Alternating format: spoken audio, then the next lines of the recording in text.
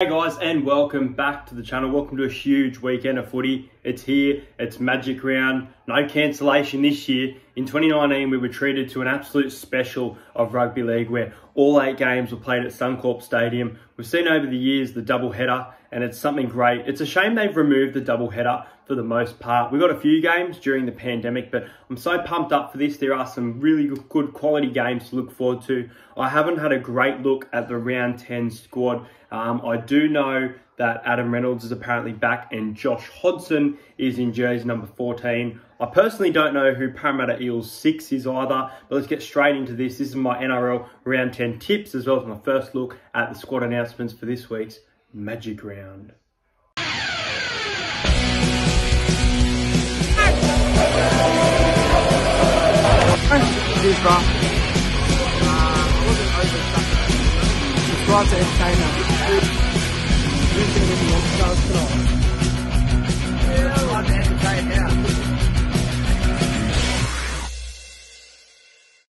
So yes, guys, let's get straight into it. The first game sees the West Tigers up against the Newcastle Knights. Now, the Knights, a team that I expect a lot more from this year, uh, they're really struggling. They need to win this game. It's a, it's a must-win game, for my opinion, if the Knights are to play finals footy. They must beat the Tigers on Thursday night. So Friday night at 6pm at Suncorp.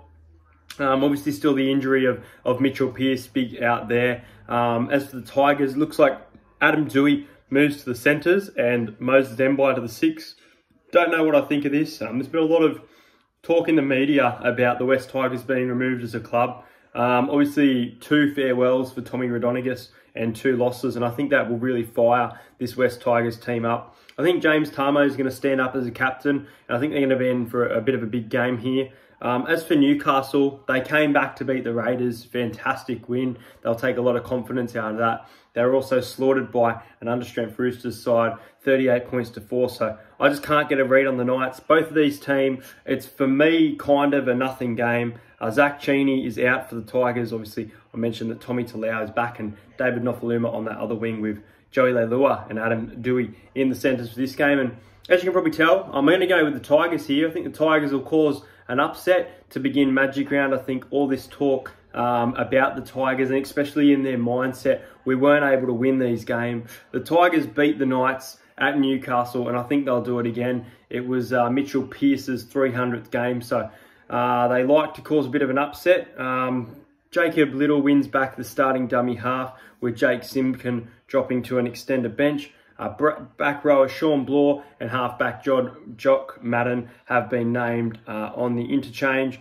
which puts Stefano on the reserves. So, yeah, I'm going to go the Tigers here, and I think they will win quite well. I think the Knights will be a little bit off um, in this game, and I'm going to take the West Tigers to defeat Newcastle 22 points to 10, and I reckon Tommy Talau as an anytime try scorer is my pick. The next game sees the Manly Sea Eagles up against the Brisbane Broncos. Now, I've mentioned a lot the Brisbane Broncos, they're definitely a different team at home. Uh, they're at home for this game. They're technically not the home team, but as we know, Brisbane Broncos, Suncorp, all these games being played at their home ground.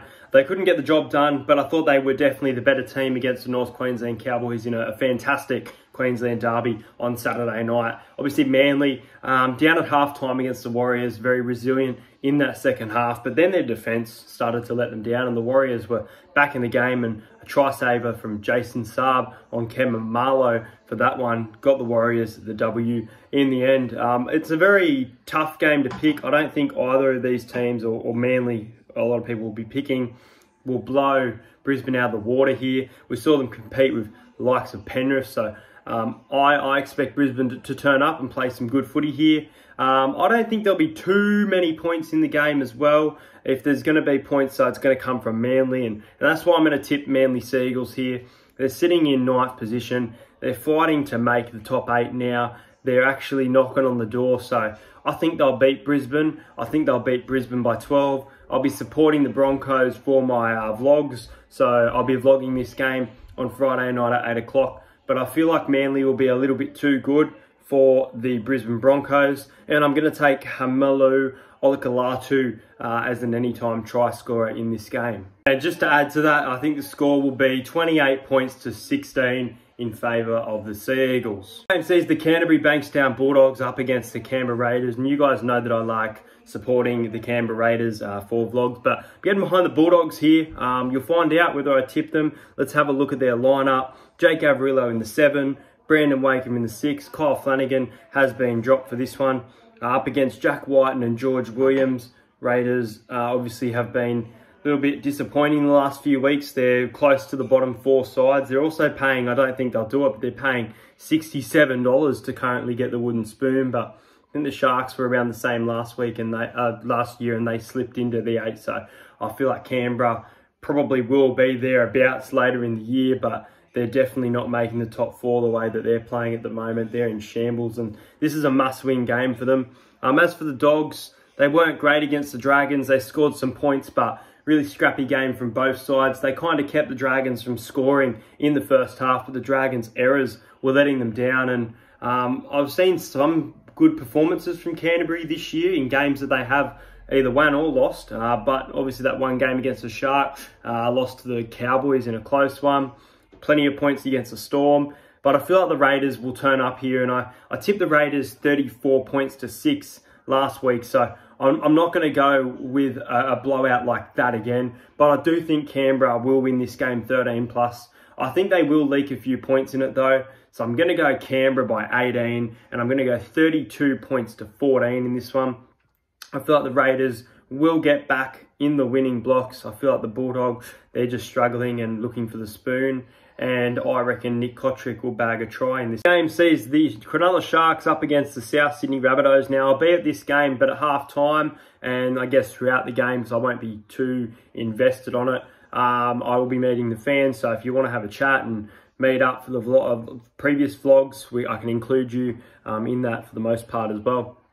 But you got the Cronulla Sharks up against the South Sydney Rabbitohs, and as I said on the last night little live chat with Nick from Australia, Trev, and Warriors and NRL Fanatics, it's a really interesting game because Rabbitoh they're in some good form. No team that has scored had 50 put on them has gone on to win the comp, but you got the feeling the Rabbitohs could be a team to break this uh, kind of drought. I don't think it will happen. They lost 50 0 last week. The Sharks lost 48 0. I predicted that their attack has been quite bad and they will be kept scoreless by the likes of the Penrith Panthers.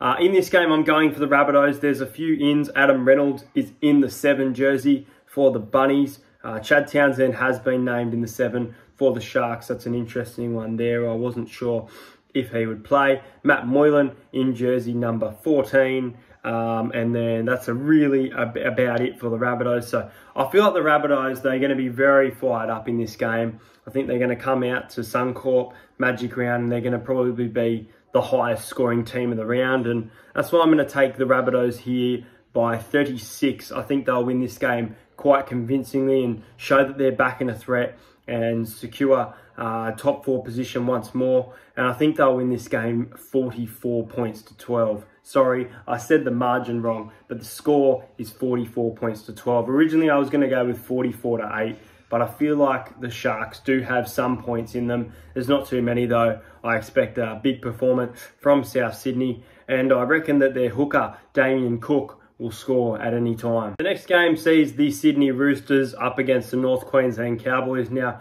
the Roosters definitely under strength in this one. Uh, Cowboys arguably almost at full strength. Taumalolo is back in form. We saw the beast unleashed and he was used in the right way, in my opinion. Um, not just the final 10 minutes of the match. He was used by Todd Payten and it was great to see him. Jake Clifford's playing some really good footy as well, um, back in the side. So the Cowboys, they're paying about $5 at the moment to win this game. And do I think they can win it? Yes. Do I think they will win it? I don't think so. Um, I'll be getting behind the Cowboys for this game, but I feel like the Roosters will nip it by a penalty goal here. It's funny because their goal kicking hasn't been great. A few questions over Sam Walker. He had an injury at the end of the Eels and Roosters game, but he's been named to play. Tedesco's also been named to play. If Tedesco is out, then get on the Cowboys 100%. They will win this game, but I just think Tedesco will be a little bit too good. But I think it'll come down to a kick to win the game, and I think it will be 26 points to 24. I felt the Roosters' defense will be a little bit off, and the Cowboys' attack will be quite red hot. I'm going to take two try scorers because I honestly think that the Fords will come out on top in this one. I'm going to take, uh, let's go with Sasia Taukeiaho off the bench for the Roosters at any time. And I'm going to go with Jordan McLean for the Cowboys. So the Roosters to defeat the Cowboys, I think it's a safe tip. They're a really quality side and got a lot of depth about them, even though this Cowboys side should be in for a big fight here, but I think they'll fall short by two points. Game sees the New Zealand Warriors up against my Parramatta Eels, and my Eels are in some red hot form right now. This is going to be a tough contest. The Warriors have been quite a decent team all year. I believe they're sitting in seventh position. They're currently in the top eight. Um, as for this game, I'm just looking now. It has asterisks relating to uh, COVID, saying that the players will have to go protocol biosecurity. So the team could change. But Jacob Arthur, I don't know if he's ready yet for the NRL, but let's give him a shot. I'm very excited for this. He's in the half with Mitchell Moses. So the father and son combination comes out for the Eel. Who knows? He could be an absolute revolution. I think Dylan Brown's a great player, but I just don't think he's been up to what he has potentially been over the last couple of years this season. And it's funny because 2019 should have been second year syndrome, but it feels like more third year syndrome. As for the Warriors, they put in a big fight against Manly. Couldn't get the job done in the end. They let the second half just slip away from them. Got a quite a strong side here. Nikorima, Harris Tavita, uh, Ken Maumalo, Tuivasa-Sheck. Uh, ben Murdoch Masila is back. That's a huge in for the Warriors. And then you've got uh, Bunty Afoa, Reece Walsh, Jazz Tevaga, Armo off the bench. That's a really good bench. As for our bench, you got Bryce Cartwright, who's been in some great form and try assist central. You got Raymond Stone back into the side. That's a fantastic one there. You got Waqa Blake back in the centres. Be good to see how he goes in this game. It's his first game back, so I won't judge him too much, but uh, I actually expect him to have a big game. So I'm going to take Blake Ferguson here as an anytime try scorer. I think both our wingers might score here in Sivo and Ferguson. I had a lean towards the Warriors, but just looking at the, the depth in our squad and the way that we've been playing, I, I can't tip the Warriors here.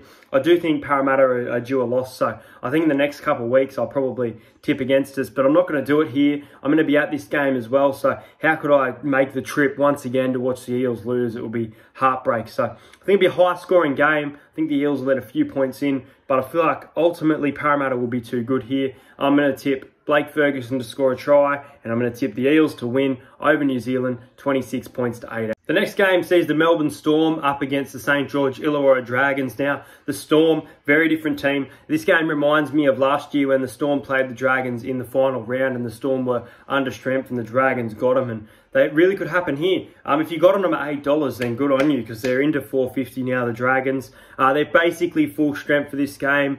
Um, really strong side. Uh, Adam Clune is in, it's saying, uh, by the reserves. Cody Ramsey is also in the reserves for this one. Max Feagai and Ravalawa um, in the starting lineup.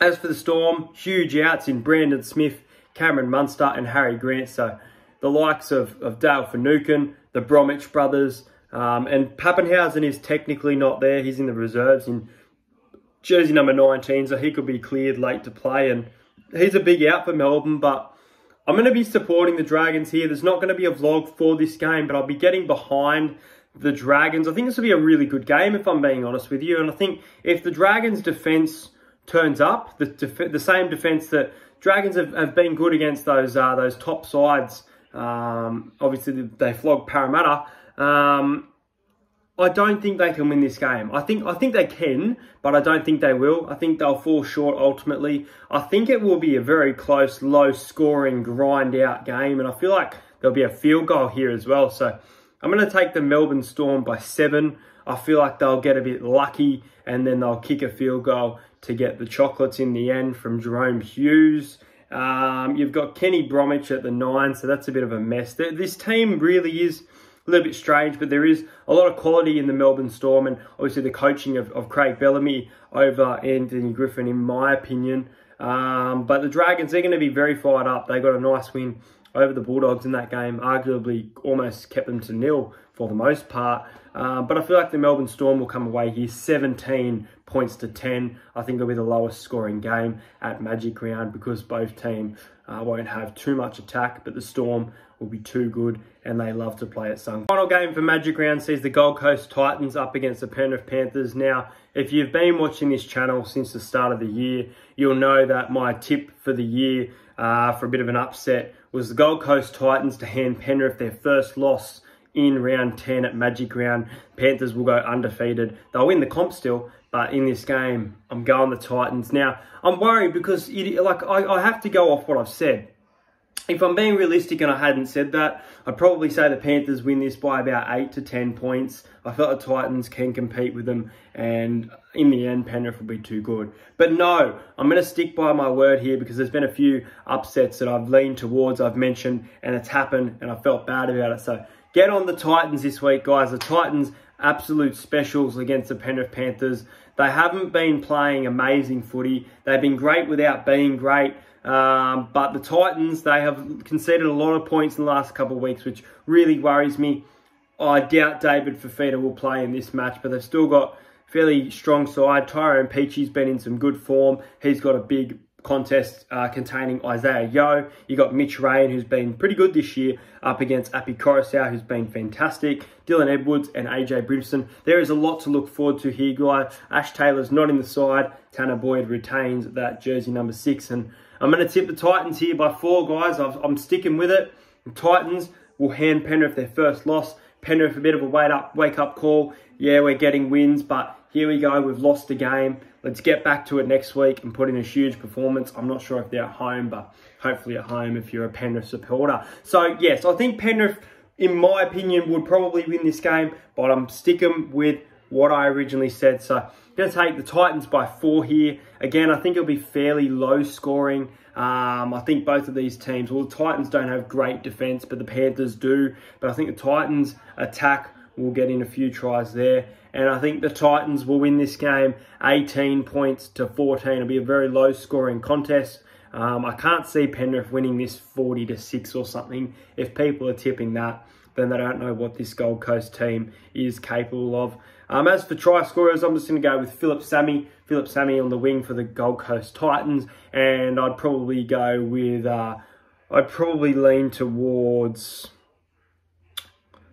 You got me. Uh, we'll go with Charlie Staines. Charlie Staines, the, the number two, and the number five for the Titans. So those are my tips, guys. Hope you guys enjoyed this video. I can't wait to attend Magic Round. Make sure you message me on the Instagram. Subscribe to the channel. Let me know which game you're most looking forward to. Let me know which game day vlog you're looking forward to because there's a few teams I've never supported that I'm supporting here. So I think it'd be great fun. Go the Eels, another win on the board hopefully for this one. Good luck to all your team. Thank you so much guys and I'll see you guys.